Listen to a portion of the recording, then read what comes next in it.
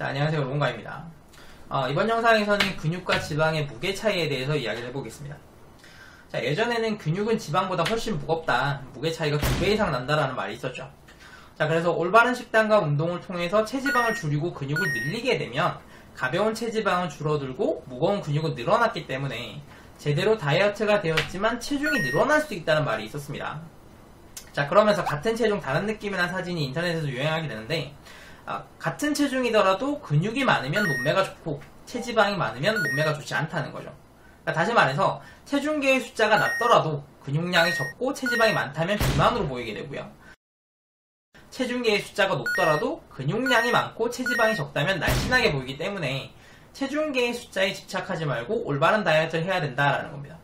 자 그러면서 근육 1kg랑 지방 1kg를 비교한 사진도 인터넷에서 유행하게 되는데 아, 근육이 지방보다 두 배 이상 무겁기 때문에 같은 무게라도 지방의 부피가 훨씬 더 크게 표현되어 있죠.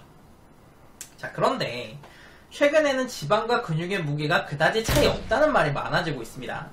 근육이 지방보다 무겁기는 하지만 그 차이가 크지 않고 20% 정도 수준이라는 거예요. 그래서 근육 1kg과 지방 1kg을 비교하면 이 정도 차이밖에 없다는 거죠.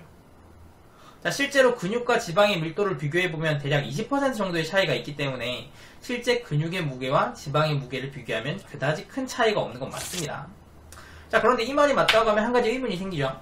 자, 지방과 근육의 무게가 별 차이가 없고, 그래서 부피도 별 차이 없다 그러면 체중이 같을 때 지방이 많든 근육이 많든 그다지 차이가 없어야 되고, 그러면 근육이 지방보다 무겁기 때문에 체중계 숫자에 집착할 필요가 없다는 말도 거짓말이 돼요.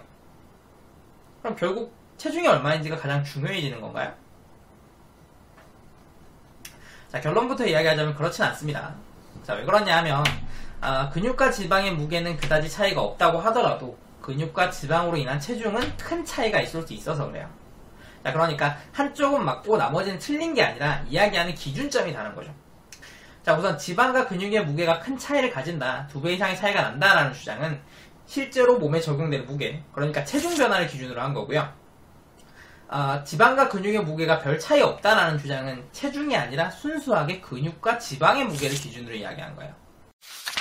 자, 이게 무슨 얘기냐 하면, 아, 근육에는 글리코겐이라는 에너지가 저장되어 있는데, 이 글리코겐은 저장될 때 수분을 가지고 저장되는 특징이 있습니다. 글리코겐의 저장량이 많다면 함께 저장되는 수분의 양이 많아지고, 글리코겐의 저장량이 적다면 함께 저장되는 수분의 양이 줄어들게 되겠죠.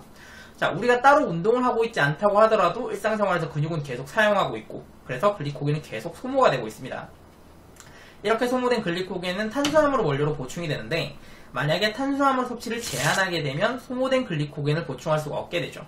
그래서 탄수화물 섭취를 제한하게 되면 글리코겐의 저장량이 줄어들게 돼요. 글리코겐의 저장량이 줄어든다면 함께 저장되어 있던 수분의 양도 줄어들겠죠.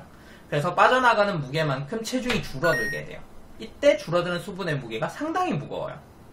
자, 글리코겐과 저장되는 수분의 무게가 어느 정도인지 쉽게 알 수 있는 식단이 있는데 탄수화물 섭취를 극도로 제한하는 키토제닉이라는 식단이에요.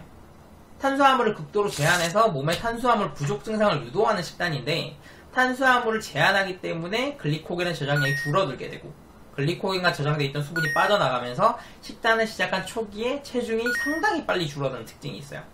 자, 보통 한 달에 10kg에서 15kg 정도 빠졌다는 후기를 흔하게 볼 수가 있죠.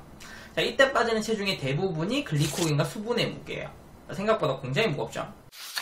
자, 그러니까 근육에 저장되는 글리코겐과 수분을 제외하고 순수하게 근육의 무게만을 기준으로 한다면 근육과 지방의 무게 차이는 그다지 크지 않은 게 맞아요. 자, 그런데 근육에 저장되는 글리코겐과 수분의 무게를 포함해서 실제로 체중을 얼마나 증가시키느냐 이걸 기준으로 하면 근육과 지방으로 인한 체중 증가는 두 배 이상 차이가 생긴다는 거죠. 자, 그래서 체지방이 감소하고 근육량이 증가했을 때 오히려 체중이 증가하는 경우도 생기고요. 같은 체중 다른 느낌 사진처럼 체중이 높더라도 멋진 몸매가 나올 수 있는 거예요. 그러니까 올바른 식단과 운동을 하고 있다면 체중계 숫자에 집착할 필요가 없는 것도 맞는 거죠. 그럴싸하죠?